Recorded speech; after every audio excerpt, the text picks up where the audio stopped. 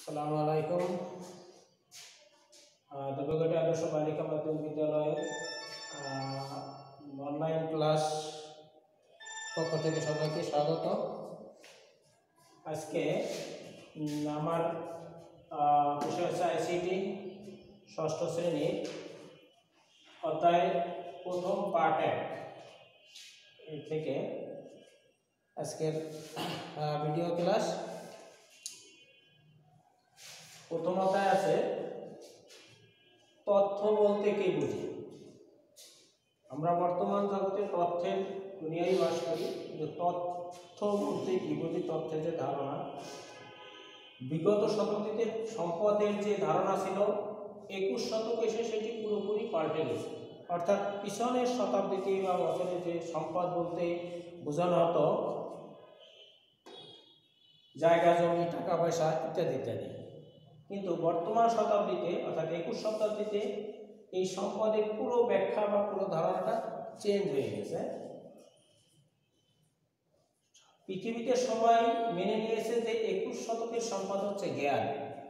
একুশ শতকের সম্পদ হচ্ছে জ্ঞান, অর্থাৎ যে জাতির কাছে বা যে দেশের কাছে, যে মানুষের কাছে জ্ঞান যত সমৃদ্ধ, যত বেশি, সেই মানুষ তত সম্পদশীল।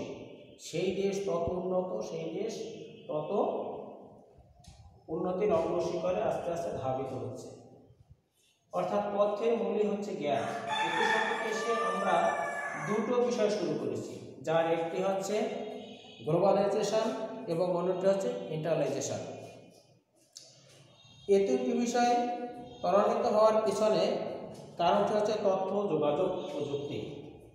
অর্থাৎ এই যে গ্লোবালাইজেশন বা ইন্টারলাইজেশন সমগ্র পৃথিবীকে একই ছাতার তলে আনা বা একই মনে করা যে আমরা একই গ্রামে বসবাস করি হচ্ছে গ্লোবালাইজেশন। অর্থাৎ পৃথিবীকে এখন আর আলাদা আলাদা ভাবার কোনো সুযোগ নেই। এটা একমাত্র এই তথ্য, যোগাযোগ, প্রযুক্তি বিকাশের বা এর যে কারিকুলাম এর মানে বিকাশের কলা কৌশলের কারণেই এগুলো করা সম্ভব হয়েছে। একুশ শতকে টিকে থাকতে হলে সবাই তথ্য, যোগাযোগ প্রযুক্তির প্রাথমিক বিষয়গুলো জানতে হবে। আমরা বর্তমান যে প্রেক্ষাপটে আছি, এর সাথে খাপ খাওয়াই বা তাল মিলিয়ে চলতে হলে আমাদের এই তথ্য, যোগাযোগ প্রযুক্তির যে বিষয়গুলো আছে, এই বিষয়গুলো সম্পর্কে খুঁটিনাটি যাই আছে, সবগুলো সম্পর্কে আমাদের সম্ভব জ্ঞান থাকতে হবে এবং এই বিষয়ে আমাদের সুন্দর করে জানতে হবে।